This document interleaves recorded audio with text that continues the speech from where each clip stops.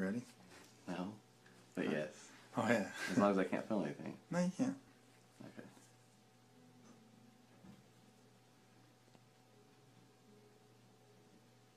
Oh, wow, that's gross. No, no, it's really cool. Now sometimes you can pop it like an egg, which we try to avoid here. Right. Because it's under pressure a little bit, so what we're doing here is just, it's only really attached on the top. So,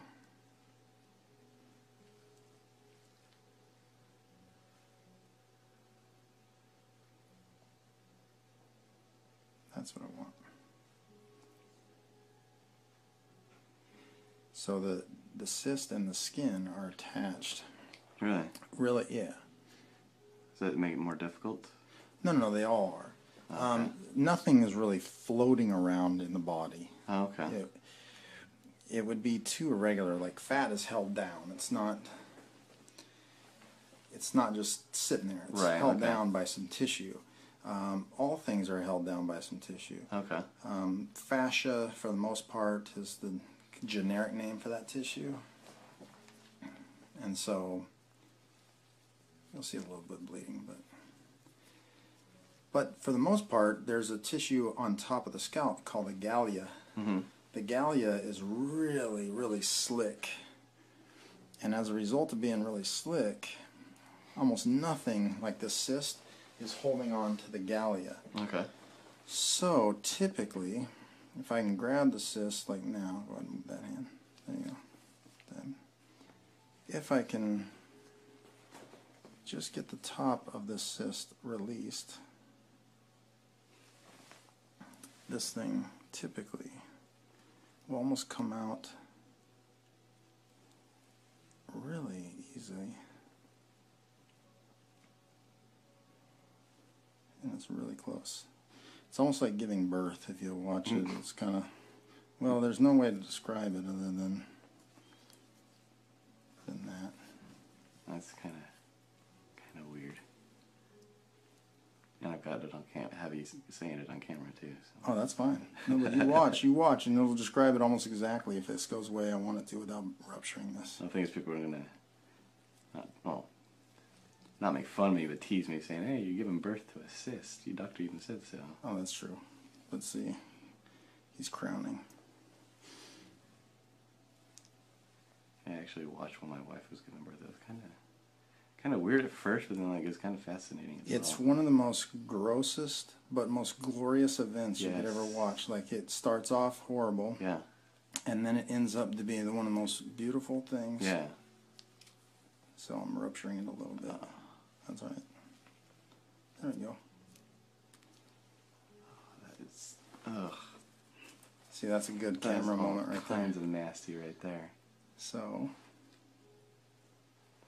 Oh no way. Ugh.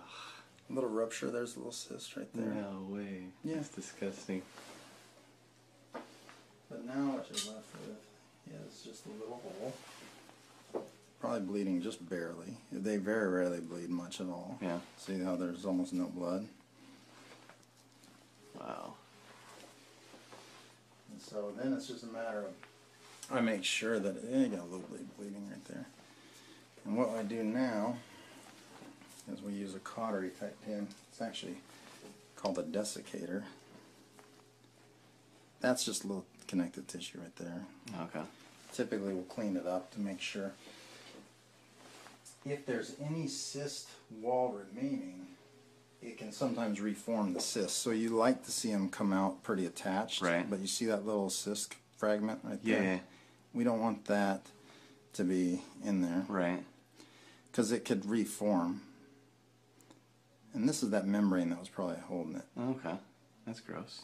Well, Looks like a worm. no, it's actually, it was like, um, so when you take chicken, Yeah. you take chicken and you take the skin off. Right. If you look closely at the chicken breast, you don't really see the, the meat yet, right? Mhm. There's actually a thin, shimmery Right. layer. Yeah. Uh huh. That's fascia. Oh, okay. That's kind of what we just pulled off here. Okay. We just do a little visual inspection of the little hole. make sure that's fine. I'll dry it off so you can tuck stuff in there if you want. Oh, that's gross. That's like having an extra pocket. So you are like all the way down into the skull right there? Yeah. Wow. And all I'm doing is just looking around to make sure that I have everything. So then it's just a matter of closure.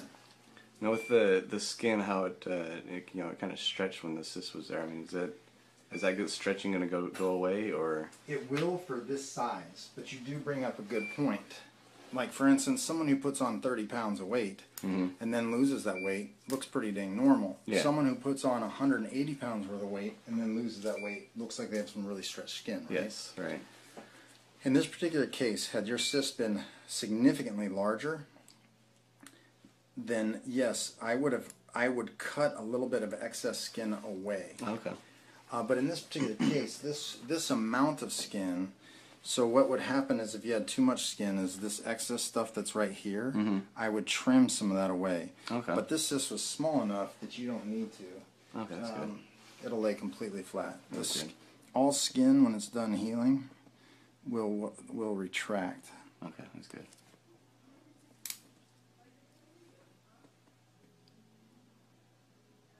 So there won't be like any like indentations or anything like that left over. Oh no.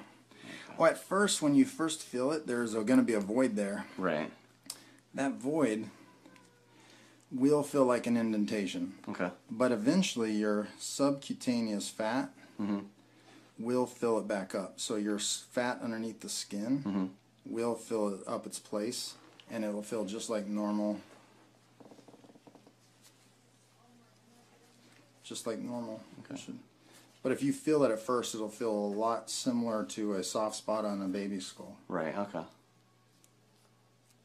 How's this the dissolving? Yep.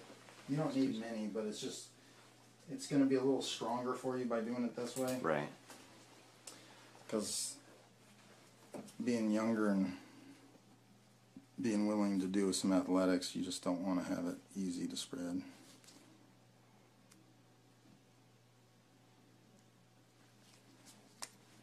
And how many how many stitches of the normal Uh, are you putting probably, probably about four, maybe Okay. three. It'll look a little puckered at 1st Mhm. I want it to, because the skin will retract. Mhm. So I don't want it to look like it's perfectly flat. Okay. And you'll see what I mean by the time I get a couple stitches in. You, know, when you look at the seams of a baseball, Mhm. how it's kind of puckered Right. from the leather being wrapped up, Mhm. that's kind of what I want this to look like too. Okay.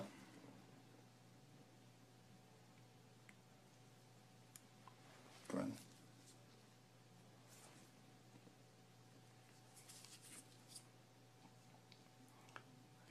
Yeah, I'll let, let this show this my wife. She'll be fascinated by it. She's kind of morbid like that. Oh no, actually, it's it is really cool. Yeah. This is what actually got me into this field. Oh, really? I was uh, about to join the Marine Corps, Oh, nice. and I had an ingrown toenail, Mm-hmm. and I didn't pass the physical as a result. They said you have to get that fixed prior to us taking you because Mhm. we don't want to fix it first. Yeah. And so, which is fair enough. So I had to go get it fixed. So I went to the dermatologist, and they started to remove my fingernail. Well, I wanted to watch, which they were worried about me watching. They said, you know, you can get woozy, pass out, So. I said, just let me watch. But after watching it, I was like, this is really cool. Mhm. Well, even in the Marine Corps, there's obviously no medicine. I didn't do any of that. I just did my own thing. But when it it did influence me to say that this is what I wanted to do when it was all said and done. Right. Well, that's cool. Mhm.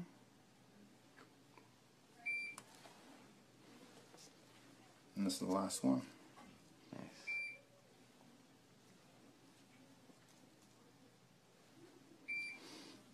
It looks all fancy when you watch the suture, but basically what we're tying is a square knot. Oh, okay. I go clockwise one re- revolution, and then I go counterclockwise one revolution, and then that's pretty much it. Like, Nice. uh, clean it for you and you can see the final result.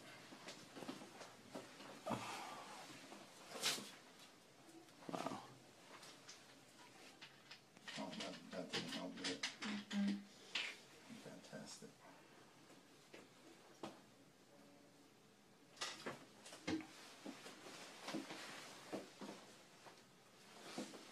So if you can see,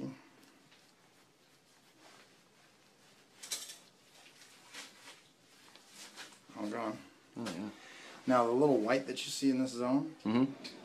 that's the lidocaine with epinephrine. Okay. Epinephrine helps it not bleed, and you're all done. Nice.